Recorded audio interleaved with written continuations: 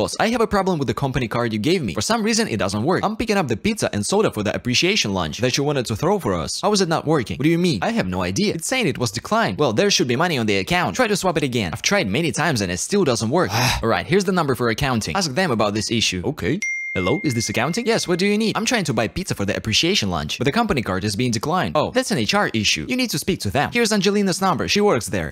Hi, is this Angelina from HR? I'm having a trouble with company card. It's being declined. Who are you? This is Jason from the sixth floor. Jason, aren't you picking up the pizzas and soda for the appreciation party? Yes, exactly. Now, can you help me out with the company card? That party starts in 20 minutes. You have to do something about it. I can't. The company card is being declined. Can you help me with it? Oh, nah. There's the operations department. Talk to them.